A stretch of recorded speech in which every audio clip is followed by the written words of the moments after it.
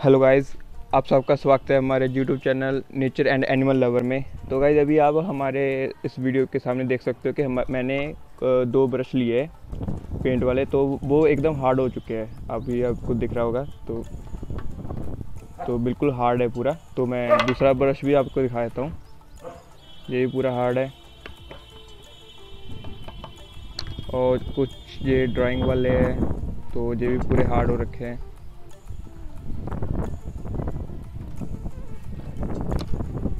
और एक ये रहा, ये भी पूरा हार्ड है। तो भाई, इस वीडियो में हम आपको बताएँ किस तरह से आप इन पुराने ब्रश को कैसे आप रीयूज़ कर सकते हो। मतलब ये पूरा हार्ड हो चुका है तो इसको कैसे सॉफ्ट कर सकते हो, वो इस वीडियो में हम पूरा बताएँगे। तो भाई, चलिए आज की वीडियो हम स्टार्ट कर लेते हैं। तो भाई, इसके लिए मैंने मार्केट गया तो लोकल शॉप से मैं ये लेके आया पेंट सॉल्वेंट और इसका जो एमएल है वो 400 सौ का है। और ये मुझे चालीस रुपये का पड़ा है और इसका जो प्रिंट है वो सिक्सटी सेवन रुपीज़ का इसका एमआरपी है। तो आप इसको कोई भी अपनी लोकल शॉप से ले सकते हो, जो जो पेंट का सामान बेचते हो, आपको इजीली अवेलेबल मिल सकता है। इसको तारपीन का तेल भी बोलते हैं, तारपीन का तेल। और पेंट में भी ये यूज़ होता है तो इजीली आपको अवेलेबल मिल, होगा। तो ये लिया है और इसको हमने एक कटोरे में डालना है। आप कोई भी बर्तन ले सकते हो, चाहे कोई स्टील का हो, चाहे कुछ भी। तो मैंने एक प्लास्टिक का मेरे पास जार पड़ा था तो उसको मैंने ऊपर से काट लिया है। तो अभी इसका हम मतलब उतना ही डालेंगे कि जितने में ये हमारे जो पेंट ब्रश है, वो इसमें कवर हो जाएँ। इसके जो ब्रश है, वो इसमें लग सकें। तो गाइज़ अभी हम अपने ब्रश को इसमें रख लेंगे। तो और अब हमने जो तारपीन का तेल लिया था, उसको हम ओपन कर लेते हैं।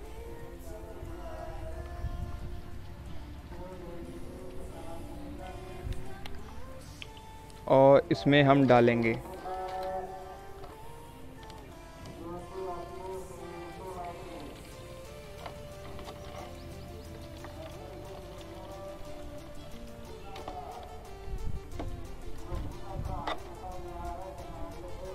इसको भी हम इसके बीच में रखेंगे।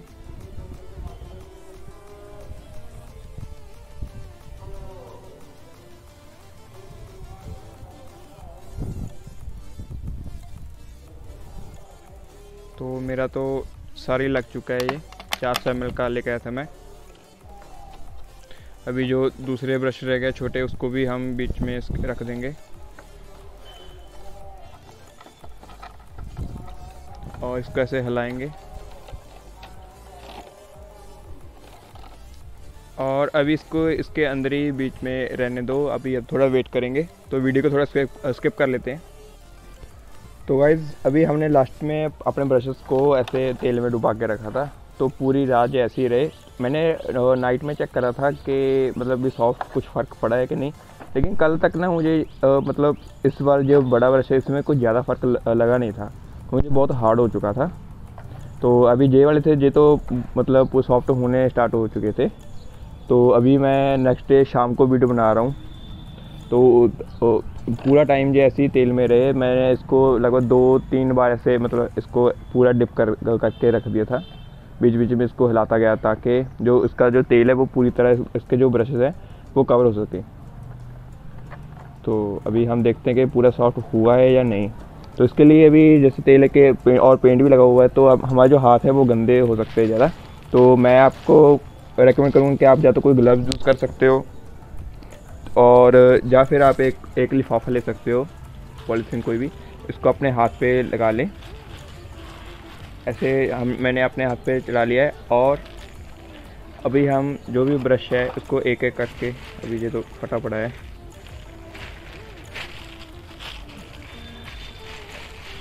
ऐसे अभी एक एक ब्रश निकालेंगे और इसको अच्छे से दबाएँगे और इसको ऐसे मसलेंगे ताकि जो भी एक्स्ट्रा तेल है, जो कोई पेंट रह चुका है इसके अंदर, वो ऐसे निकल सके।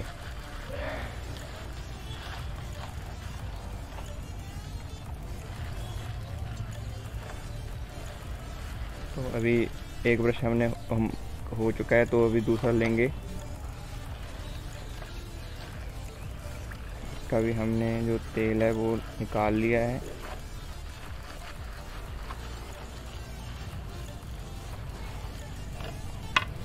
तो अभी ये कुछ छोटे ब्रशेस थे मेरे, इसको भी हम ऐसे कर लेंगे।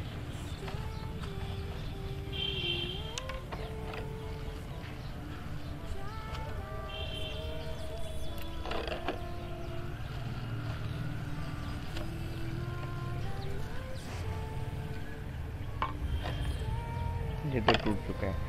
तो गाइज़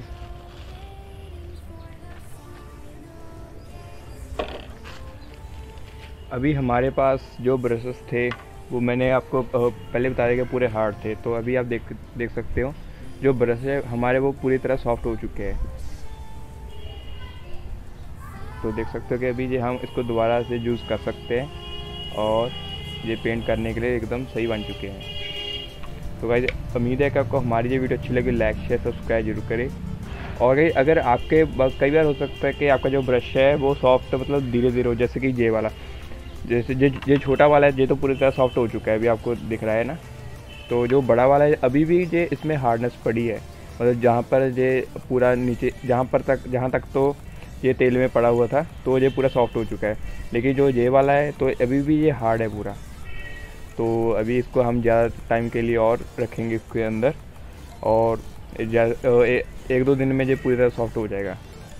तो गाइज़ अपने दोस्तों के साथ भी शेयर करें, और अभी जो हमारे जो ब्रश हैं वो अभी हमने जो पोर्ट्स लगा रखे हैं, अभी आपको दिखा देता हूँ तो अभी इन सब पे हम कलर करेंगे, अपना कोई भी ड्राइंग करेंगे छोटा मोटा थैंक यू